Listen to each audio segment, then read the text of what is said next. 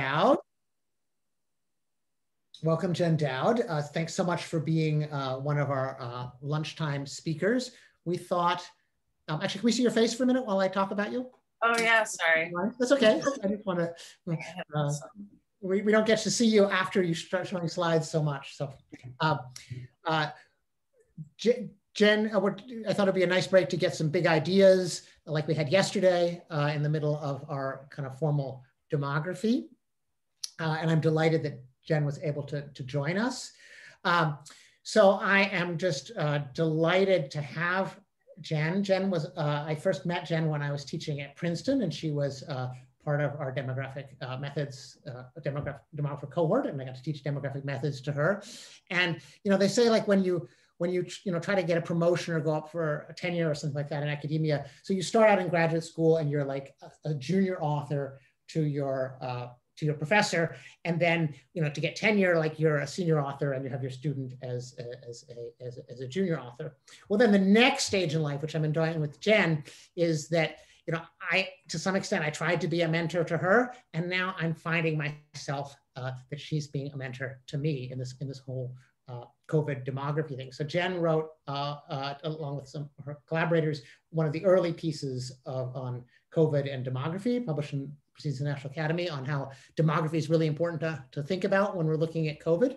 Uh, you know, very much the inspiration for our first hour on stable population theory and, and crude death rates. And uh, you know, since I've since then, she has uh, I've kind of seen her as kind of an evangelist for thinking carefully and scientifically about uh, COVID. And I just wanted to thank her uh, the paper that Tom's going to be presenting tomorrow, uh, I got a lot of useful feedback from her. So I'm going to, to my formal, former students to try to try to be my mentor. So it's just wonderful to have you. Jen did her PhD at Princeton. Then she was a um, Robert Woods Johnson postdoc, great postdoc program, which I don't think has found a replacement yet. She was at Michigan. Uh, then she was a professor at CUNY for a few years. And then Oxford made her a deal she couldn't refuse. I don't quite know how they got her. And she's been there for now what last three years or so? Um yeah actually only like 18 months but i was i was here at, at king's college london before that. Okay. so thanks so much. Um, and we'll have uh, jen talk for about 20 25 minutes and then or however long she she planned and then we'll have some discussion and she can stay a couple of minutes longer but she's in england so let's not keep her too long. Thanks jen. Thank you Thank you, Josh. Let me share my screen now. Okay.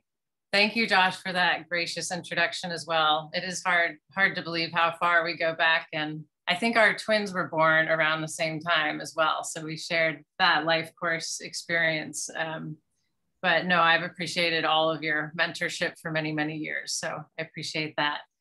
And I wanted to talk today, right, and not in a, a, technical talk about specific work, but kind of carrying on, I guess, my evangelism this past year about the role of demography and, and really a population perspective during the COVID pandemic. Um, and in some ways, it was a very personal just experience from starting with that early work last March, which I'll talk about, um, and has also drawn me into science communication for the first time for more general audiences um, through a social media campaign that I'm a part of, Dear Pandemic, and, and some writing for, for um, the media. And that's just been a real, um, you know, a real learning curve for me. It's something I think that we don't typically get trained in um, or think about how to communicate um, more broadly to general audiences. And it's been so important during COVID. And so I want to encourage you all to think about, um, you know, doing that in the future. So um, as you all, you know, kind of remember, if you put yourself back in March of 2020, um, as, as all of this COVID data was coming out fast and furious, um, you know, a lot of us were, were watching early on, not knowing how serious this was going to be. And in fact, one of the early really important questions was how actually dangerous is COVID? You know, is this similar to seasonal flu? Um, and really that question was so important to try to understand, um, you know, the consequences of the, the steps that we were gonna take. You know, should we shut down schools? Should we shut down society? Um, a lot really depended on how, you know, serious and fatal this was. And so some of these very basic questions were, were difficult to answer in the beginning. Um, and we were watching it with interest, but we also had a couple of Italian colleagues in our center who had gone back home in February, kind of in, in anticipation of, of these lockdowns, and were sending updates. So that was how we, we got interested in starting to look at the data very early on. Um, and so you guys probably looked at a lot of data like this as well. Um, this is in Italian, but on the, the right-hand column are case fatality rates. So um, I'm sure you all know, but these are then confirmed cases um, in the denominator and confirmed uh, deaths due to COVID in the numerator. And this was some of the first data coming out outside of China. So it was really, um, I think we were all waiting to see what this would look like in a different context. Um, and as you can see, these case fatality rates, you know, were really high in absolute terms. And of course, we know that we were underestimating the denominator here. But I think the thing that we noted um, quite quickly, and I'm sure you all did too, was the concentration of deaths at older ages. Uh, you can see here that almost all the deaths were above age 60 um, in Italy. And, you know, trying to think why was the pandemic hitting Italy so hard at this time? Um, I think as demographers, we naturally went to, to the thought that this is, you know, one of the oldest populations in the world with, um, you know, after Japan, with 23% of the population above age 65. Um, so this, you know, was our, you know, kind of light bulb moment, especially at the very beginning of the pandemic, thinking how is this going to play out across the rest of the world or even within countries um, with different demographics. Um, and so we had this thought, we, we, we wrote a preprint that came out on March 15th, 2020, and we found out on that day that everyone else you know every other demographer in the world was was really thinking the same things um, that population age structure was going to be really important here given the age distribution that we were seeing with covid deaths so far in italy. And so our paper um, that josh mentioned was was a really simple exercise just you know thinking through the implications of this very steep age gradient in mortality for covid um, and how that might play out in different populations um, with different age, age structures. So we did a couple stylized comparisons, Italy um, and Korea. And so you can, and we used the case fatality rates that were coming out at the time from Italy, which were of course very, very high. So that's why these absolute numbers um, look large. Um, and we assumed a 10% prevalence of infection that would be uniform across all ages. So these were very simplified assumptions. And unfortunately, 10% was a very optimistic assumption. But the basic principle is that you know you can vary those parameters, but um, you know the strong association between age structure and overall mortality uh, remains. And you know if you look at two countries that have even you know, much different um, age structures such as Brazil and Nigeria, you see this playing out even more dramatically.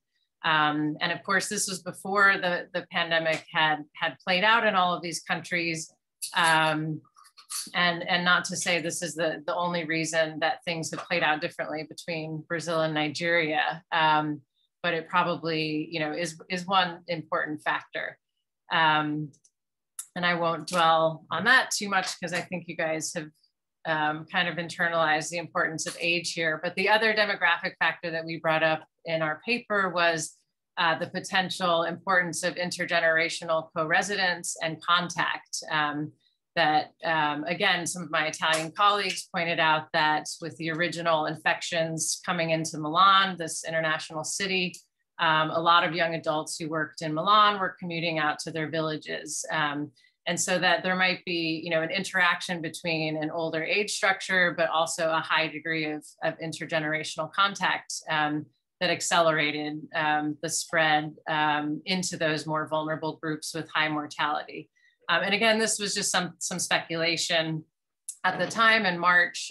This is a little comment from Francesco Billari and colleagues showing the different degrees of daily contact between um, older adults and, and their adult children. So there is quite a lot of variation across different countries.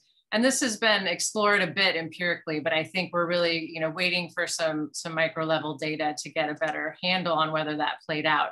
Um, but we did get some, some press coverage in Italy that was accusing us of blaming the family for all these um, this high mortality levels in Italy. So it struck it struck a chord that we didn't expect um, and has been a bit contentious. But I think um, I think we are getting more data, and this played out a bit in the U.S. Um, in cities um, with immigrant populations. The idea that that multi generational households might be um, an important factor here.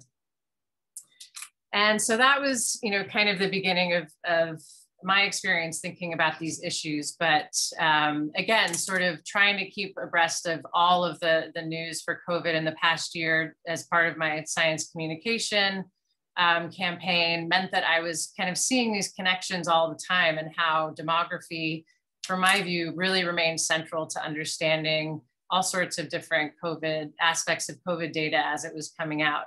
Um, I mentioned that, you know, something as basic as the infection fatality rate, you know, how dangerous is this? Um, is a, you know, such an important thing to get a handle on, and especially in, in making policy and convincing people to take this seriously. Um, and of course, trying to get a handle on that was a real challenge because uh, we didn't know the, the true denominator. Um, but then it was also changing over time. And, you know, some people interpreted that as we're getting better at treating COVID, which, you know, may have been the case to some degree. But I think we would all immediately think that, um, you know, who's in the denominator has probably changed a lot. Um, you know, in the first wave, people weren't prepared for this. We weren't protecting the elderly as much. When we reopened in the summer and, and things shifted, the age distribution of cases had shifted younger and older and more vulnerable people were taking precautions. So, you know, these were things that the media, you know, wasn't necessarily noticing until I think, you know, people in our, with our perspective brought these things up. And identifying that actual infection fatality rate, um, again, was a challenge, partially because not many countries, including the US, you know, the US actually failed to kind of field um, a population representative survey that would give us a sense of how many people were actually infected. Um, but luckily, some countries did do, you know, uh, population representative seroprevalence studies. Spain did a big one.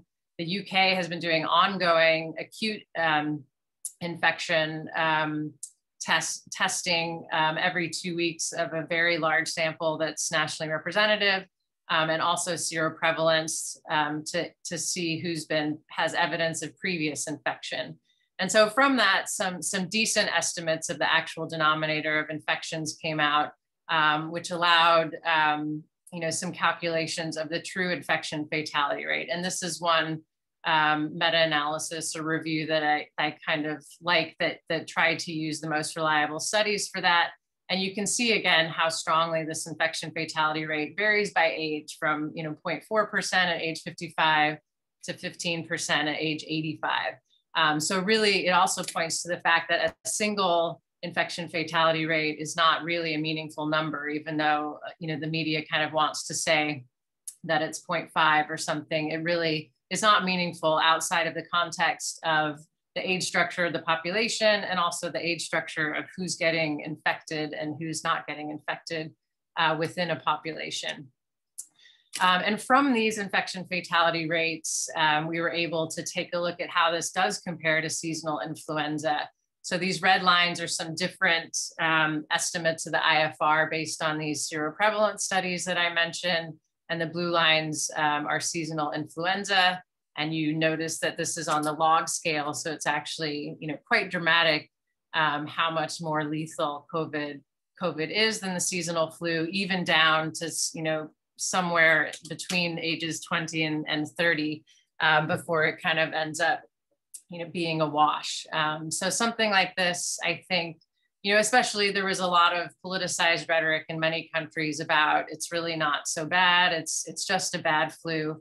Um, and so I think getting these reliable estimates of the actual infection fatality you know, ratio were really important um, and a contribution. And, and we have lots of good memes on Twitter too, um, just to emphasize that that single IFR is, is not necessarily uh, meaningful, that you really need to think about um, the age structure of the population um, that you're applying it to and um, extending this idea of trying to get a handle on how how bad COVID was. Um, so this was just a question we got a lot on our um, our social media campaign. Is you know this idea that we were overcounting deaths um, and especially there was you know some some politicians suggesting that doctors had an incentive to put covid on the death certificate. Um, but i think there was also a legitimate question from you know lay people that if if covid you know if, if older people are mostly dying of covid you know might they have died anyway? You know are we just are we picking up these covid deaths? Um, you know, from people who would have died anyway, who have other comorbidities, and thus we're really exaggerating the burden of this. You know, in some ways, I think that's a really legitimate question. Um, and of course, demographers have a great way to think about that. Um, we know that coding specific causes of death can be tricky. And, you know, one way to, to measure these um, mortality shocks is to look at excess mortality um, above and beyond what we would expect from previous years. Um, and I think, you know, believe it or not, this was actually a, a, quite intuitive concept to the general public that you say, you know, no, we're not, you know, we're not just counting COVID deaths, we're looking at how many more people died than we would have expected. Um, and so all of a sudden you saw these excess mortality figures across lots of different publications like the New York Times and the Economist. Um, and this one I, I liked from last summer in the US, even though it doesn't show what happened later just because um, this regional breakdown, I think, showed really clearly, you know, the movement of excess mortality across time and space in, in the US. And I think, you know, one of the things that we're all going to be trying to figure out for years to come is this breakdown of direct versus indirect excess mortality. Um, and I think, you know, looking at, you know, the differences across time and space and the path of the actual virus um, will be one interesting way um, to try to disentangle that. Um, and as I said, we suddenly were seeing these estimates in all sorts of, um, you know, kind of mainstream publications. So I just, I think it's, um, you know, been really fascinating that a key demographic uh, concept like excess mortality um, has been so, so useful and actually intuitive to people to try to um, explain the true burden of mortality. Um, I think it really rings true to a lot of people. Um, so the next area where I think uh, demography has been really important and, and Josh is contributing to this um, is thinking about vaccination prioritization, because of course this concentration of, of mortality at older ages, um, you know, means that, you know, you can probably get a lot of uh, bang for your buck in preventing mortality with vaccines if you um, prioritize you know, versus age. And this was handled a bit differently where I am in the UK versus the US. Um, the UK proceeded with quite strict um, age prioritization um, and still is. Um, so my teenagers have not gotten vaccinated here, even though you know they could have in the US. Um, and this was one of the original figures. I think this was from the first wave in the UK, but you can see that in the UK, the, the um, 93% of deaths were above age 65. I think in the US, that's actually shifted a bit younger. I think it was closer to 80% of deaths have been above age 65. So that is one interesting difference. Um, but this is a list of the, the priority groups for vaccination. Um, and this was grabbed from Twitter, but someone plotted, you know, how many deaths you could prevent then based on um, that you know those estimates um, by by vaccinating a smaller percentage of the population. Um, so you know the U.S. had you know a much I guess less, um, from my point of view, systematic rollout. It kind of um, did try to do some aid prioritization, but it seemed pretty quickly to become a bit of a free for all. So I think that um, you know is a debate that probably should have happened much earlier in the pandemic. I think one thing hopefully we'll learn is how to anticipate some of these really important policy questions a little bit sooner.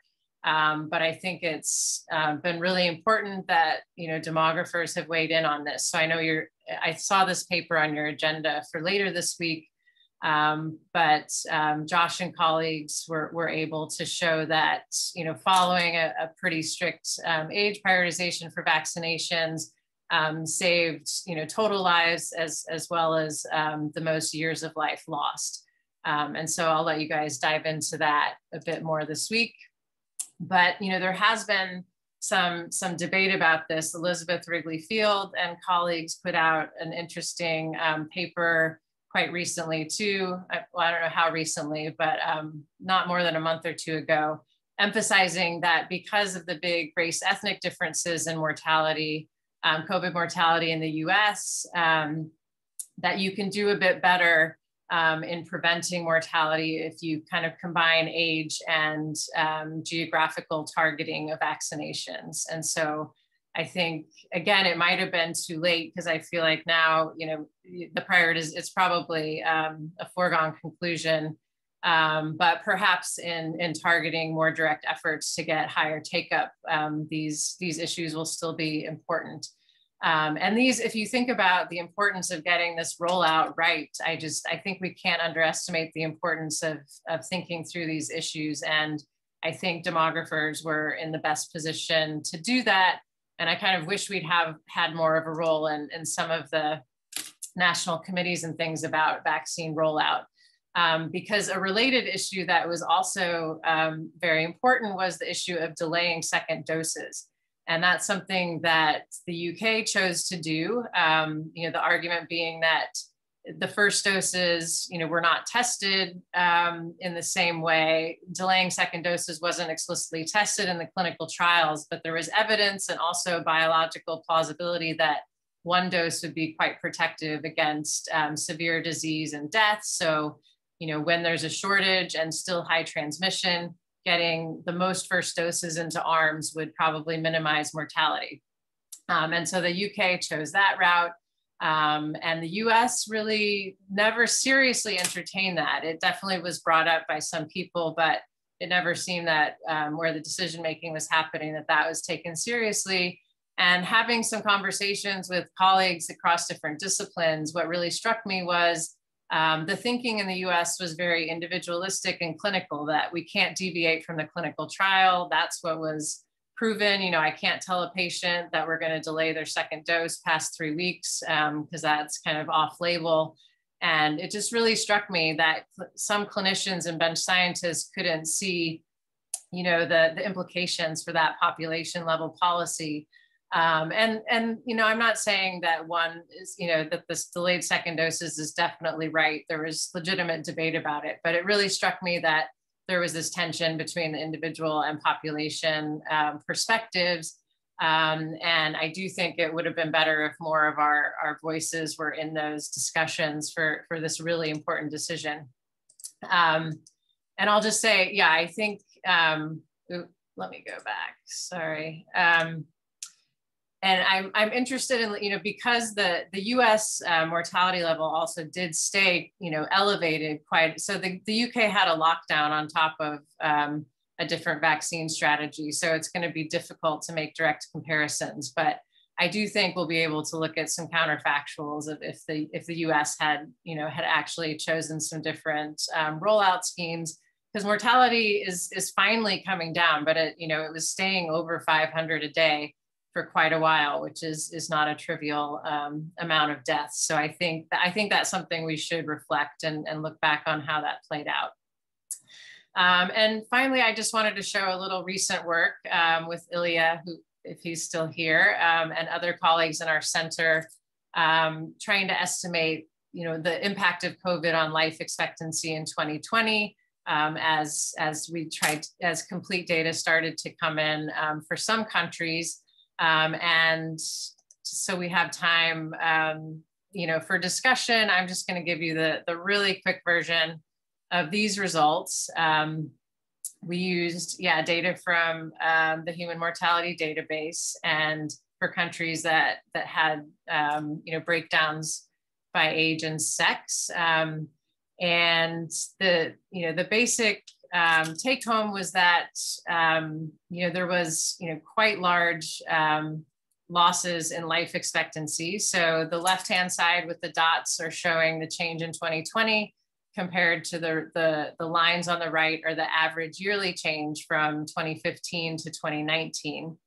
And, and so for females in seven countries and males in 11 countries, the loss was in excess of one year of life expectancy at birth um, and this, of course, had not been seen, this magnitude of a drop in life expectancy for many countries since World War II or the breakup of the Soviet Union. Um, and the biggest losses um, of 1.5 years or more were seen um, amongst males in the US, Bulgaria, Poland, and Sweden, and females in the US and Spain. And we also disaggregated or uh, broke down by age and the contributions um, to changes in life expectancy at different ages. And, um, you know, here, you know, for most countries, um, this was due to losses at older ages but it is notable that in countries like the US that, that were particularly hard hit um, by overall mortality, mortality um, below age 60 um, was a strong contributor to the losses in life expectancy. Um, and you know, I think there's there's a lot of interesting work to be done thinking about why the U.S. was hit, um, particularly also at younger ages, um, and especially ties into some of the recent work on, um, you know, maybe underlying vulnerability of, of the US at middle ages um, and higher mortality overall. Um, so, you know, I think this life expectancy work was also interesting. It's obviously something that we all find, um, I guess, not intuitive, but we're quite used to understanding how to interpret life expectancy. But as as Josh and Ilya know on on Twitter, we got a little bit of pushback. Well, first of all, there was um, you know something written by a clinician claiming that the CDC life expectancy um, data was really deceptive and saying that there was a huge fall in life expectancy because he said, you know, COVID doesn't happen every year. So we can't, you know, it's really deceptive to say that this has been a hit to life expectancy. And so some some people um, tried to explain that that's exactly you know how life expectancy is calculated but i think the point remains that it actually is a difficult concept to to convey to people why why we think this is um, a good summary measure even though it's it's only a period measure. Um, and and it's true that covid hopefully is not going to happen every year um, of people's lives. Um, so i think that has made me reflect on yeah communication as demographers and how we want to to think about explaining these key concepts and and whether we can do better um, and so i know ilya wrote a really good twitter thread um, explaining um, you know breaking down what life expectancy really means and so i think we can all um, you know work harder on on trying to communicate that um, but i and you know substantively thinking about the future of COVID and population health, I think there's just a really rich research agenda ahead of all of us. Um, you know, we don't know what's going to happen in 2021, but I think it's obvious there's still going to be a huge burden um, of mortality in many countries. Um, you know, what happens with vaccines and new variants will, will um, you know, play a big role in how it plays out globally. Um, and then, you know, I think we're going to start seeing the impact of these indirect effects on health, you know, delayed healthcare seeking, screenings and treatments. Um, I'm quite interested and concerned about longer term um, scarring effects on the population for those who've been seriously ill. Um, obviously weighed against some selection effects of, of the, you know, if it's the most frail who have died this year. And then I think many social scientists will be investigating the longer term impacts of the, the social and economic crises and lockdowns associated with the pandemic. So there's a lot, a lot of, of work to still be done. And so this is, I guess, just kind of a pep talk for how you're spending your week um, studying demography um, that in many ways demography was you know, really, really important for understanding all aspects of this pandemic, um, including really important policy decisions in the end. Um, and part of that is because a pandemic is a population problem, um, but a lot of the specialists that we lean on, you know, were trained in a very different way. So doctors, um, you know, really think about patients and individuals and, you know, bench and lab scientists you know, thank goodness they invented the vaccines. They're amazing, but they do also have a different training and a different perspective. So um, I think that's that's my pitch for the importance of the training that you're getting and that it's okay to weigh in and you know give that perspective it's actually really important even though some people you know call different disciplines out for for not you know that you don't have a right to weigh in on um, immunology or virology, I think um, for a pandemic, you know, we need all these disciplines, and so don't be afraid to um, to to stay, you know, don't stay in your lane. be sure to, to use your voice and it's, it's needed now more than, more than ever. So I'll stop there and would love to hear your thoughts. Okay, you still have 16 more seconds till 2.30, Jen. Perfect. Thank you so, so much.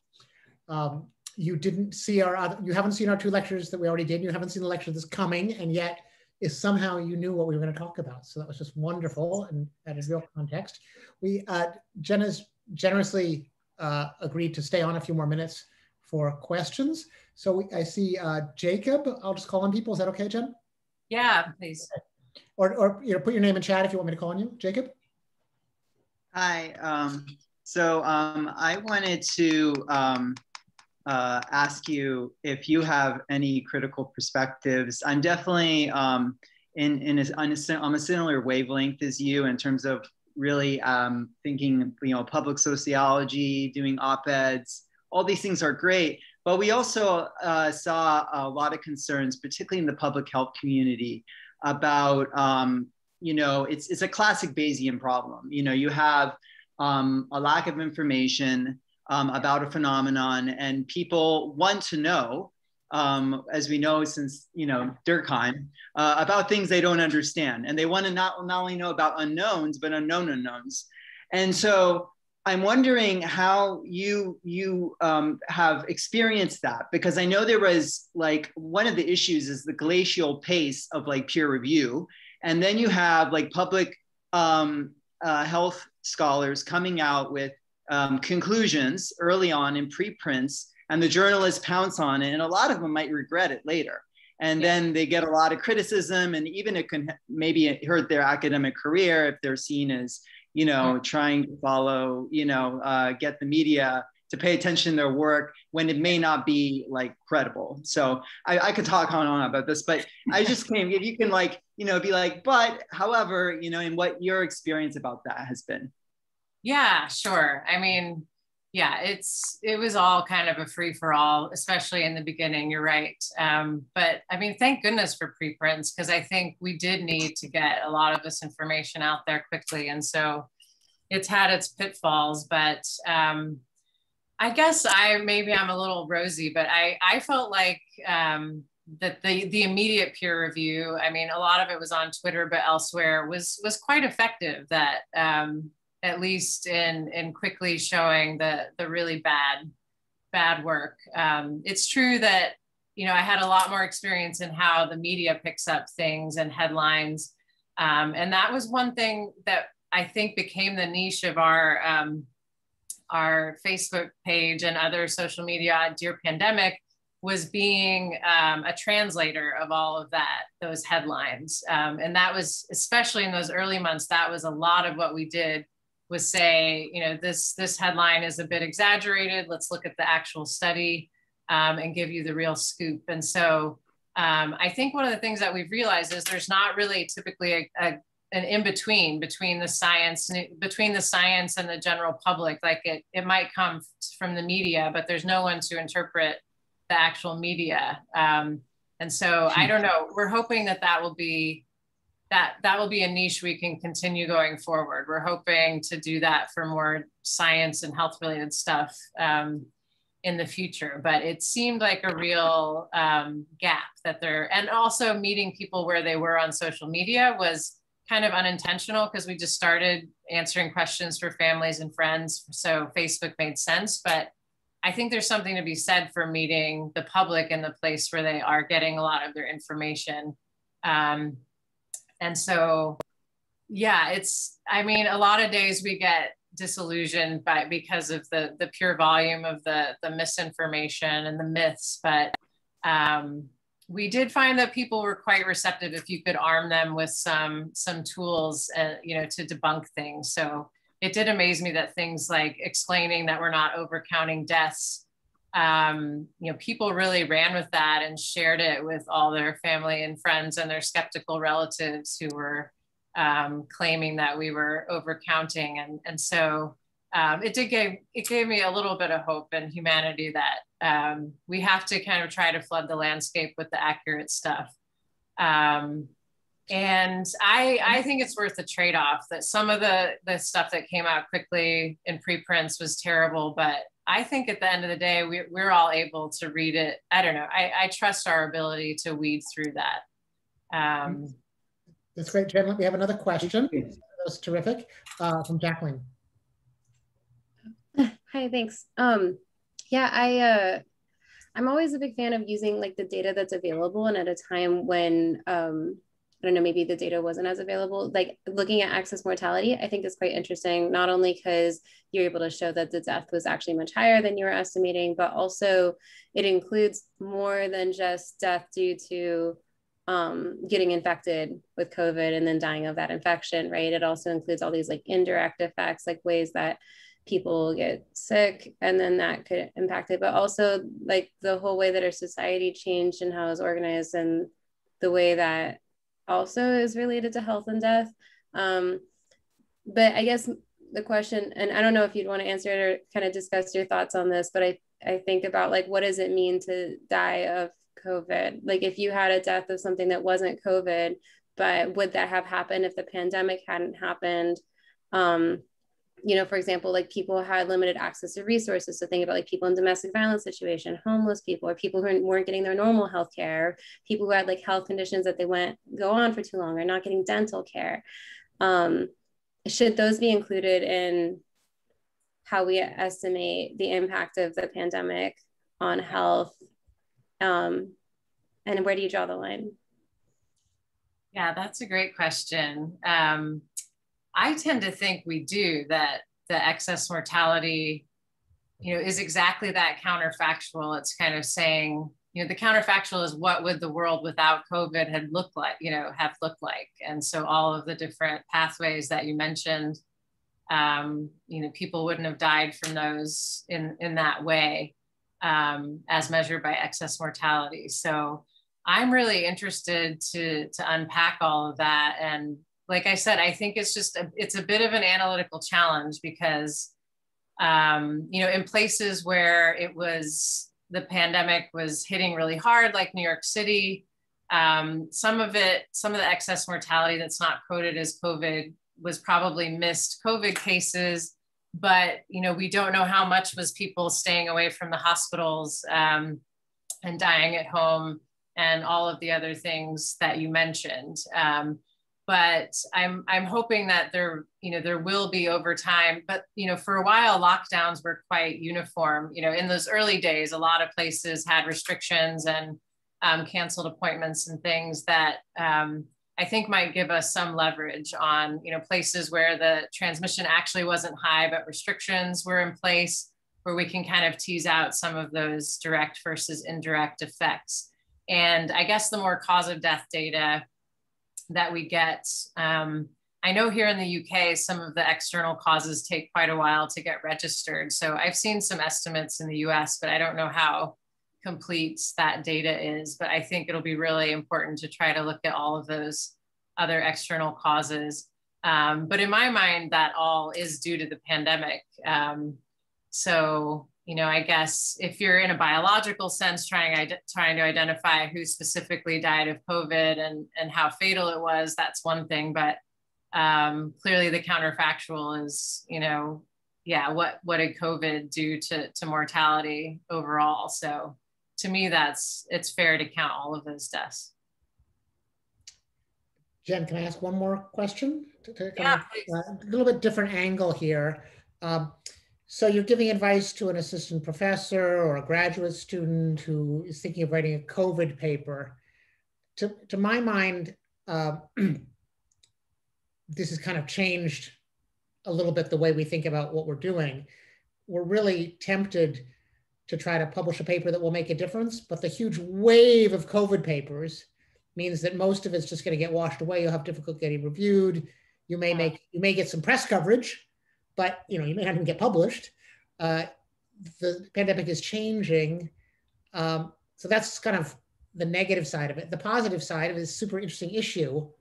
I, I, I guess to me this is a somewhat scary issue to be researching in if your career is on the line, particularly as a like a social science demographer or something like that, because you you you might make a huge impact, but it's such a such a noisy, full, wavy zone. So I just kind of, you've been kind of doing this public science stuff, but you're also trying to publish your own articles. So I'm sure maybe you could just give your personal opinion Yeah. about what you choose to kind of invest time in, kind of uh, on this topic. Yeah, that's that's great. And the balance, um, I think, shifted over the pandemic. You're right. Like very early on, there was not much in the space. Like you know, super early in March 2020. So I think anything you know had a had a pretty big impact. Um, but you're you're completely right that things have gotten flooded and difficult to review. Um, and so I think my own shift, so my own work shifted a bit more towards the public communication, which just seemed more immediate um, and conveying conveying these all of these insights in in plain language. Like a lot of it could have been written up, I guess, as as papers. Not a lot of it, but um, I guess I started airing on just getting the communication out there. Um, and not necessarily putting everything into a, a preprint like some people did. Um, and just the stakes started to seem really high to have these public conversations rather than in academic papers. So I didn't cover it in this, but if you guys remember the Great Barrington Declaration that came out in October, um, and that idea was that if we had focus protection, they quote focus protection of the elderly, we could kind of let everyone else um, go about their business and be done with this all in you know six to eight weeks from from getting herd immunity. Um, and there were you know a lot of empirical claims in that type of idea um, that nobody really worked out like that I thought merited real academic discussion. But in some ways there wasn't time for that, and um, it became you know exchanges and you know not not very academic like exchanges with looking at real data. Um, and so in some ways that was frustrating but if i had if we had tried to publish papers to rebut them it would have been yeah like five months too late by the time that came out. Um, so so there was so i was one of the authors of the john snow memorandum that did try to rebut that but it was that's much more of kind of an opinion type of piece than an academic piece. So um, to me, a lot of it felt urgent on a daily basis, which is not that conducive to the academic timeline. Um, so, um, but going forward, I think even though the, it might seem like a flooded area right now, some of these areas that I outlined about the long-term effects on population health and mortality and social and economic well-being, you know, I think will be important areas and plenty of room to carve out really meaningful agendas. So I wouldn't be afraid of, of doing COVID work now, but you can be much more deliberate, I think, about it now. I hope. We're getting the, the, the chat room is alive with one last question. So I'm, gonna, I'm just going to read it to be quick. It's about how, what's your advice for communicating uncertainty well with the public? Science is about communicating uncertainty. And thank you for your great talk. Wow. Yeah, no, you're reading my mind. If I had to talk about the challenges um, in Dear Pandemic, um, we've been trying to reflect on this. And, and again, we were doing this all on the fly. So um, but but but you really nailed it. Like we so we have this question box. It's called dear pandemic because people like dear abby people ask us questions. And so many people want you to tell them that something is safe or unsafe. Like i want to do this you know or this. Is it safe? And so most of what we've been trying to communicate is kind of the idea of risk as a continuum and the idea of, of uncertainty. Um, and I'm not sure, you know, that we have like the pedagogy down, you know, perfectly, but we do a lot of um, scenarios and examples um, is one way. People kind of like you to be very, very specific. We've learned that people really can't generalize that easily. So if you say that a mask is effective, you know, at preventing transmission or, you know, you should wear a mask, people will say, well, you know, I have a big nose and, you know, what about my glasses and, you know, what fabric? And so um, it's been amazing um, to see how I think being more specific and, and um, simplifying things with actual specific scenarios um, is really helpful. And, you know, trying to, um, you know, write as if you're explaining it to your grandmother, I would say. So the, the real challenge for us was learning plain language because that's not something we're taught very well in academia. Um, but I think it's it's really really useful for clarifying the concepts too. Um, but I think I'm still learning every day how to communicate uncertainty. It's it's a real it's a real challenge. Um, but some of the things around vaccine safety, I think we've we've done a lot of that. So um, one of the most difficult things was trying to explain to people that you know if we start vaccinating millions of people um, a certain number are going to have heart attacks or die the next day just by chance. Um, so we tried to explain that, you know, kind of upfront before vaccines rolled out. And then when the AstraZeneca and Johnson and Johnson blood clot thing happened, it was tricky because we'd spent a lot of time telling people, don't worry about that. It has to be, you know, above a base rate for us to be concerned. Um, and then it was really tricky to try to interpret you know, there does look like there's some safety signal here, but it's still very rare. How do you compare it to other risks? Um, but um, you know, trying to put that in context of other risks that people might take is is one thing that we try to do. Um, but it's it's not easy, not easy at all. Thank you so much, Jen. Uh, let's join. Uh, you can do virtual applause or unmute and give actual applause. Thank you so much, Jen. Thanks, really guys. Um, uh, good luck in in your future evangelizing, your yeah. communication with with the public, and also with your science. Uh, okay. Great yes. stuff on all on all ends. It was just wonderful to, to have you. You gave a lot of uh, context that I think was much needed for for the workshop, and also we loved hearing uh, your your personal takes on so much of this. So thanks again. Um, Can you share your Twitter handle? Oh, sure. Yeah. Can you sh share your Twitter? Yeah. yeah. Okay, so we are, um, we've, we've, we're in the middle of our lunch break, but I would suggest that we actually, since we're gonna go a little bit late, there's no reason for us to start brutally on time. Let's begin at 1.15. So we're gonna begin 15 minutes late. And um, I'm gonna go for a little walk, but I'll probably be back here at one. So I can tell people we're not gonna start till 1.15, don't worry, but maybe you can blast out, um, uh, maybe uh, Elizabeth, could you maybe do that or Pyle? Uh, blast out on bCourses, just saying we're starting at 115 for those of people who've gone away already. Yeah. Um, and uh, see you soon, Jen. Bye. Take care, guys. so have a good lunch, everyone, and, and see you back here at 115.